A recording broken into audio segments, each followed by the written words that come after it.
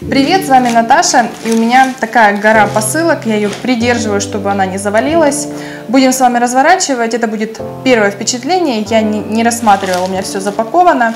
И в примерке буду рассказывать более подробно. А вы не забывайте подписываться, ставить лайки и комментарии. Ну что, давайте, наверное, начнем а, с вот этих мелких пакетиков Сейсес, а потом по большим пройдемся.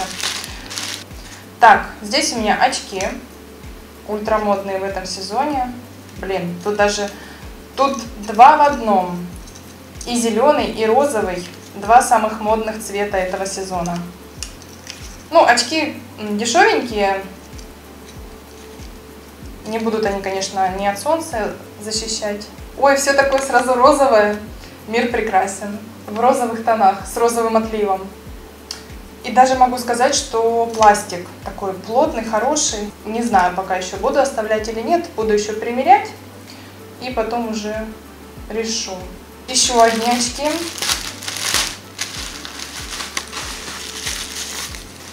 Здесь... Ага. Ой, вот это очки, конечно, ой-ой-ой. Мне кажется, их вот так можно сломать. Вот, они очень гнутся. Их очень легко сломать.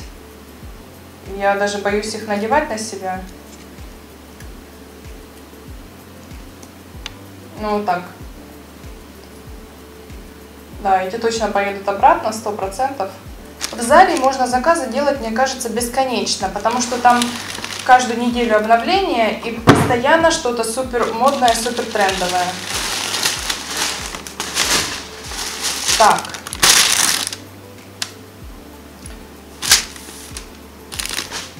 Ага, да, вот, смотрите, давайте начнем с костюма в стиле Жак Мюс. Сейчас вам буду крепить, наверное, фото с сайта, чтобы вы видели ожидание и реальность. И в примерке на мне. Ткань такая тяжелая, очень тяжелая. Прям тут, смотрите, и брюки, и рубашка. Такой э, а пижамный комплект. Ну, как всегда, местами торчат нитки. Честно говоря, ткань уже меня не радует. Это, по-моему, такая очень жесткая синтетика. Ну, сейчас посмотрим, что в примерке. Чувствую себя, честно говоря, как будто в дешевой ночнушке. Выглядит на самом деле не очень красиво. Самый косячный элемент э, в этом костюме – это рубашка. Непонятно, что с ней делать. То ли ее хочется в узел завязать, то ли заправить. Но не...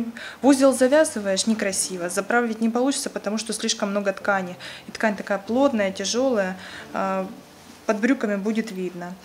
В общем, костюм неудачный, поэтому буду его возвращать. Далее, платье русалки. Посмотрите, какой красивый зеленый цвет. Я обожаю зеленый цвет. У меня зеленые глаза, и мне кажется, мне зеленый цвет очень идет. Вот такой зеленый. У меня когда-то была блузка, еще в школе, такого цвета. И, по-моему, даже вот такой узел на ней был. И такой вырез. Вот прям вверх один в один, мне кажется. Ткань достаточно плотная. И мне кажется, вот, кстати, это платье просвечивать не будет.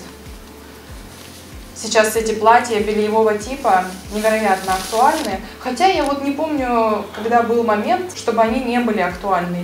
Их то становилось больше, то меньше, но в целом они не сказать, что уходили. Поэтому, мне кажется, вот такие фасоны можно легко, смело покупать и носить их несколько лет вперед, пока не надоест. Ну, дело в том, что они надоедают.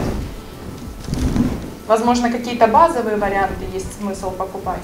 Но это не совсем базовый, согласитесь. Платье вызывает какое-то сомнение.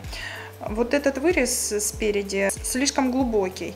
Наверное, нужно подтянуть лямки, точнее перешить их. Но немножко поджимает э, подмышками, если подтянуть э, лямки повыше. Это платье немножко напоминает мне русалку. Неплохо опять смотрятся зеленые очки и зеленые сандали сюда пришлись в тему. Ага, посмотрите, блузка в Америке эти блузки, по-моему, уже относили еще в прошлом сезоне, а до нас они только дошли. Прошлым летом было положено начало вот таким подобным вариантом. Мне они очень нравятся. Сейчас посмотрим, как будет смотреться вот именно это. Знаете, мои пальцы не были к такому готовы. Я пока застегнула все пуговицы, у меня пальцы реально устали. Верхнюю петельку кто-то уже оторвал. Пуговицы очень неудобные, лучше бы сделали эту часть декоративной, чтобы не застегивать каждый раз. Я вам из-за этого нюанса не рекомендую ее брать. Тесновато в плечах и в груди, а чуть ниже, ближе к пупку, а, она свободная. И как-то не очень сидит странно. И вот, собственно, еще одна рубашка.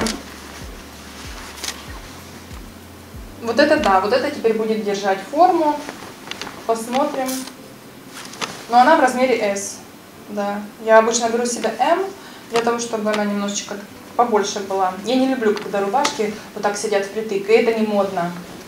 Вот. И хоть я и рассказывала в базе, что лучше брать что-то среднее, не оверсайз и не прилегание, но я все равно люблю, чтобы оно немножечко было больше. Хотя вот размер S, она достаточно широкая, ну, буду мерить, посмотрим. Она структурная, держит форму, и несмотря на то, что на мне размер S, она не выглядит такой уже объемной. И в целом я не могу сказать, что она выглядит супер объемной, как идеально, то, что нужно. И цвет тоже достаточно красивый. Я буду думать, оставлять мне ее или нет. Любит Наташа рубашки. Смотрите. Ну вот такой зеленый, мне кажется, не идет, да? Вон тот предыдущий было красиво, а вот эти светлые оттенки нет. М-м. Не мой цвет, но примерить интересно. Смотрите, зеленая рубашка, она такая же, как и розовая, только на мне размер М. Самое интересное, совсем не ощущается, что этот размер больше. Они сидят как будто одинаково. И по рукавам, возможно, шире. Ну, поэтому я думаю, разницы нет, что S, что M. Ну, а так достаточно свежий, актуальный образ. Как классно зеленые очки сочетаются и с розовой, и с зеленой рубашкой. Так, и мне безумно хотелось давно себе розовую рубашку. Я даже две купила, они разной ткани. Тут, видите, есть карманы, и ткань такая тяжеленькая. Это не поплин, как э, обычно в большинстве рубашек у Зары, но она тяжелая. И она не держит форму. Это будет прям по фигуре, а мне бы хотелось такую более структурную, что ли. Рубашка мне нравится, она очень приятная. Единственное, что мне не нравится, это вот эти два кармана и то, что она сидит приталена не сидит объемно, мне бы хотелось немножечко объема. Мне все неплохо, и цвет безумно красивый. Я люблю такой розовый. На мне размер М. Сидит впритык. Я заказала одну пару обуви на низком каблуке.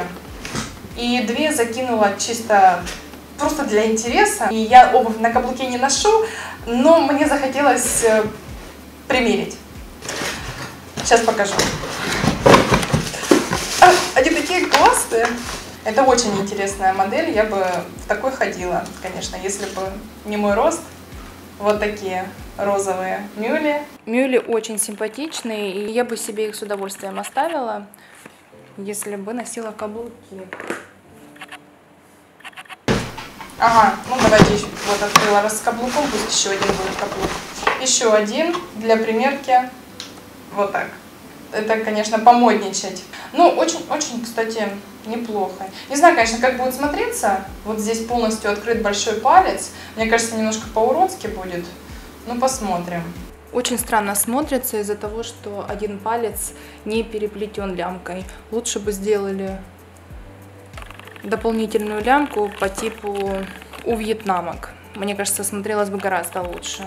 Так, и купила себе белые. В надежде, может, они мне понравятся но я вижу, что они мне не нравятся. Мода на обувь дедушки, в общем, это что-то среднее, да, между обувью дедушки и не обувью дедушки, но оно все равно похоже на обувь дедушки, какая-то грубая.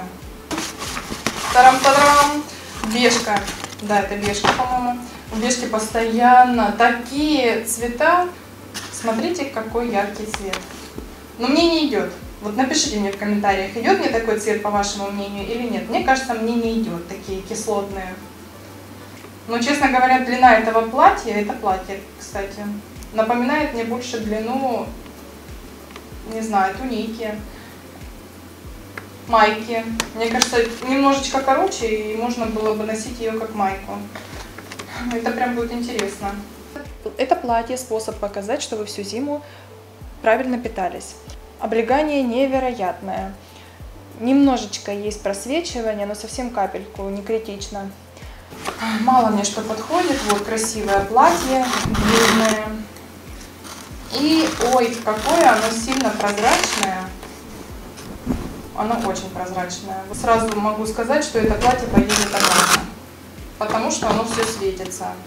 Я вон вижу, даже швы просвечивают. Могло было быть очень красивым, но из-за того, что оно светится, и слишком много этих вырезов, но если бы оно было с, подкладкой более плотной, хотя бы в тех местах, где нужно прикрывать, то, в принципе, можно было бы носить.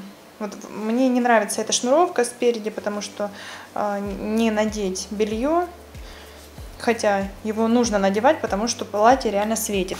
Ага, вот еще похожая модель, но я взяла в двух размерах один. Так, вот. Ага, вот здесь ткань уже получше. Здесь, возможно, не будет светиться, смотрите. Вот я, кстати, может быть, его оставлю. Это платье мне нравится больше. Здесь такая рифленая ткань. Она как двойная получается. И из-за этого не так просвечивает.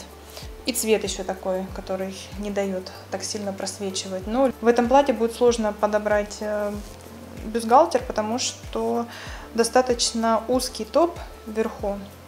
Скорее всего, нужно носить без белья, поэтому пока насчет этого платья буду размышлять. А так, очень красивый цвет, интересный фасон, эти вырезы. Так, и джинсовый сарафан. Угу. Джинсовый сарафан тоже супер короткий, на маленькую очень девочку, на низенькую. Наверху по типу корсета, вот так. Модель интересная, жаль. Жаль, что они делают такие короткие вещи. Это джинсовое платье, пожалуй, мой фаворит.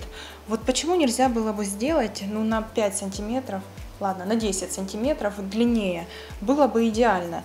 Я бы его 100% себе оставила. А сейчас думаю, оно очень короткое, и я подумываю, может быть, схитрить и под низ надеть что-то типа велосипедок, чтобы нагинаться было не так опасно. Ага, и такой интересный свитер я заказала к тому кислотному платью в паре. Мне хотелось примерить их в паре. Ну, платье короткое, поэтому свитер, конечно, тоже. Кардиган, не свитер, кардиган. Пушистый. У моей мамы такой белый был когда-то, только свитер.